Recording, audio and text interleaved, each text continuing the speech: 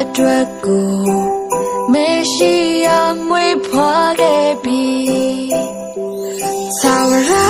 ဖယားရှင်ဟာချစ်တာဖြစ်သူယေရှုအားလူစားတည်ခံစေခဲ့ပြီလူသားအဖြစ်တွေကတင်ဖို့ကာတိုင်းမှာအသက်ပေးလို့ကတင်